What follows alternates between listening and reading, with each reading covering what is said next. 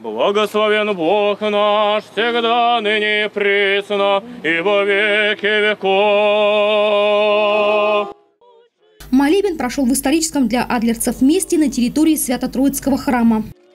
Именно здесь, в этом районе, 7 июня 1837 года на эти берега высадился первый российский десант.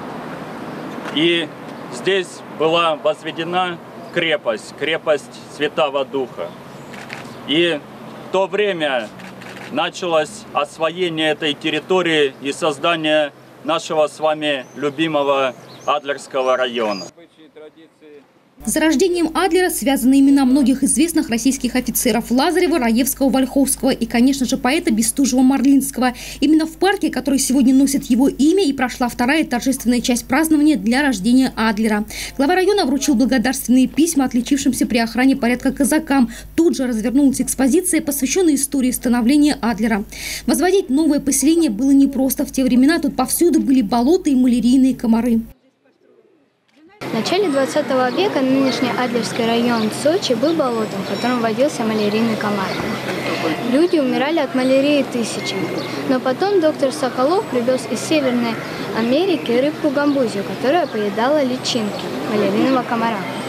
По признанию самого доктора, рыбка сделала то, что не смогла бы сделать даже целая армия медиков. Сейчас в Адлере установлен памятник рыбке гамбузию. Адлерский район – это самая южная точка не только Сочи, но и России. Сегодня он известен всему миру еще и потому, что именно здесь прошли 22-е зимние игры. Именно здесь развернулась большая стройка, на месте которой сегодня раскинулся Олимпийский парк.